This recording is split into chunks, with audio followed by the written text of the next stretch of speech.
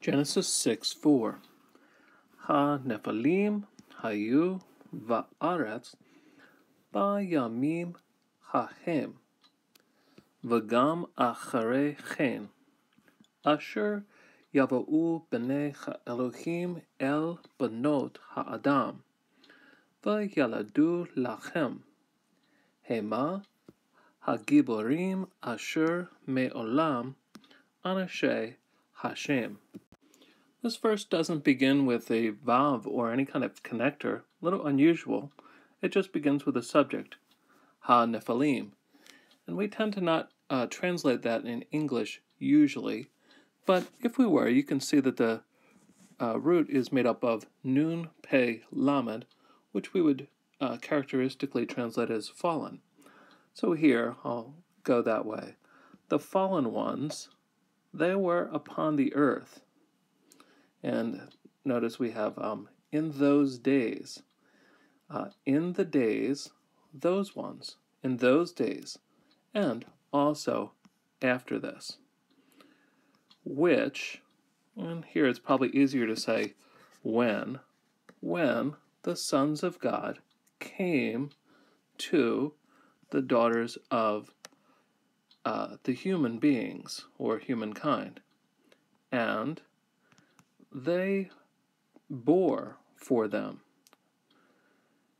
Uh, they were the mighty ones who were from forever, here from antiquity. Olam can be either a long time past or a long time future. So here we'll say they were the they were the mighty ones from antiquity, men of the name. In the sense of the name, perhaps the sense of uh, renown or reputation, but the name. Bayamim hahem. Here we see the subject pronoun haim, or it can be the demonstrative pronoun as it is here. And in this case, it functions just like an adjective, so it needs to agree with the noun, in this case days, in gender, number, and definiteness. And it does all of that. We have the, um, and we also have the article on in the days, the those ones, in those days. Yavo u, this comes from bo, beit, vav, aleph, and here we have kal, imperfect, uh, 3mp. So the subject is the sons of God and it's called a hollow because the middle letter falls out. And we have Yod, Lamed, Dalet, and this is a Kal, um, Vav consecutive perfect, perhaps, or perhaps it's a conjunctive Vav on an imperfect. Hard to say. Um, so that would be a imperfect plus a Vav.